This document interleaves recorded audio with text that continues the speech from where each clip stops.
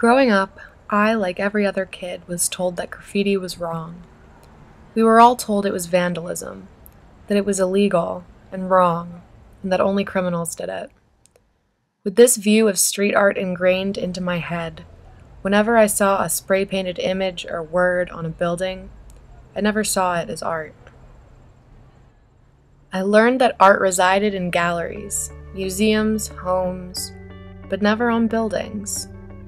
I never thought that what was painted there could be beautiful or intelligent.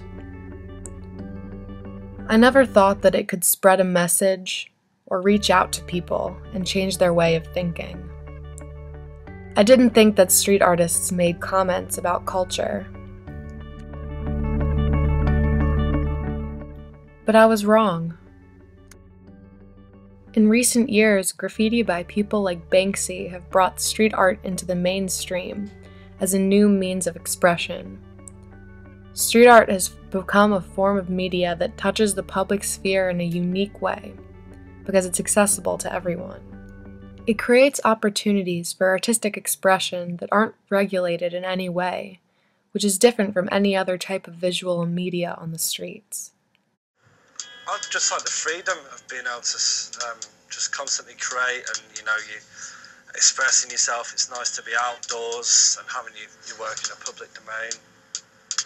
To be honest, the normal fine art gallery route is just boring to me. I don't like that style of painting necessarily. I just like the way that I'm not bound to any rules. If I want to paint something one way or another, I, I, I can do that. You know, it, it makes me feel more free as a human being. When words or an image are plastered across the street, every person in that community will see it.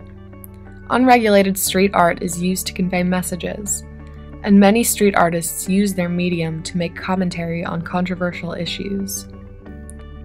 This spreads ideas in the public sphere on a grander scale than many other types of propaganda because it's unfiltered and integrated into community life. Advertisements and billboards are very mediated types of visual media that are shown to the public with regulated messages. But when you take away the censorship of advertisements, street art can display a very different message.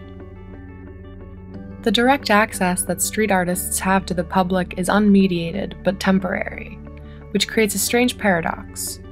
Even though graffiti can take whatever form the artist chooses, the fact that it exists in the public makes it short lived.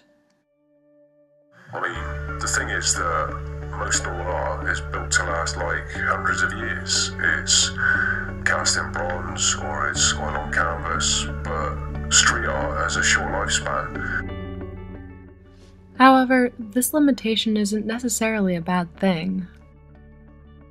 Street art is constantly being painted over, either by the police or other artists, but this continues the transformation of street art in the public sphere.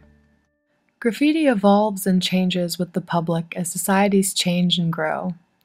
Although there are ways to document street art in photographs and videos, it's a temporary art form and can only be enjoyed firsthand for a limited period of time. This is the same as periods of culture. It can be captured by films and books and word of mouth, but the actual experience of it is contingent upon physical presence during that specific time. You can't just have graffiti in galleries and on canvases and on prints and in coffee table books without having the graffiti on the street. That's where it comes from, that's where the culture is born. You'll never ever just have it in the gallery. You're always going to have people doing it on the streets.